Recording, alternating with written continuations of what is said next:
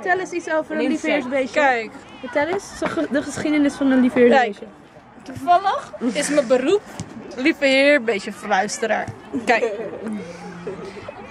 deze heeft een, ja, die draagt een heel, heel verhaal mee. Elk stipje, elk stipje staat voor een, eh, ja, een hele zware emotionele gebeurtenis.